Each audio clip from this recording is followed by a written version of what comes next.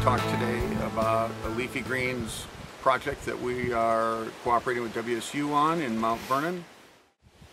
I'm Tom Thornton at Cloud Mountain Farm Center up in Everson, Washington.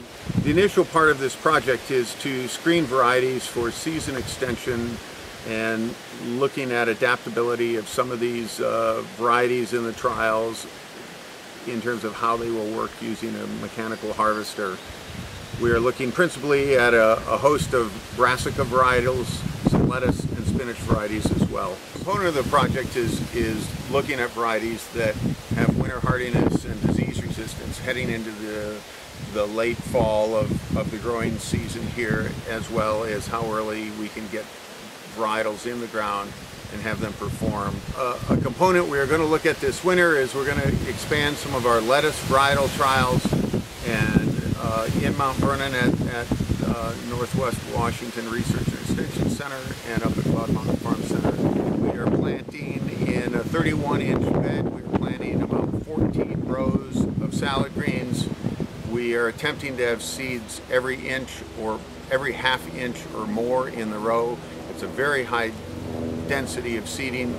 The intent is that it shortly after germination there is a you know, the soil is completely covered by the salad greens.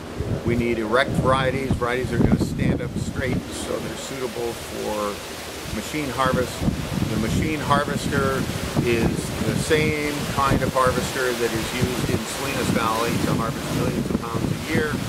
Uh, our version is a very small 28 inch cutting blade.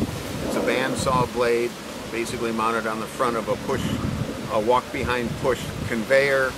Uh, they're very simple and very uh, smartly built that give you a tremendous amount of control uh, in, in, harvesting salad greens. The, they basically have a roller on the front and back that rolls right across the top of the bed and so very suitable in wet conditions and uh, I think are, is going to be a great asset. So let's talk about the marketing component of this project. There, there is significant demand for leafy greens and salad green production uh, up in northwestern Washington.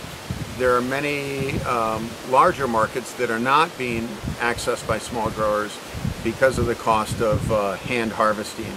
One of the components of this project is to come up with ways where we can reduce the cost of production and inputs to the growers so they can compete in a larger marketplace. One of the components of this project that is really important to us is making sure that we have input from the growers in the region. And so in this first year, we have five farms we are working with doing on-farm trials. And in the second year, we will add another five farms to work with.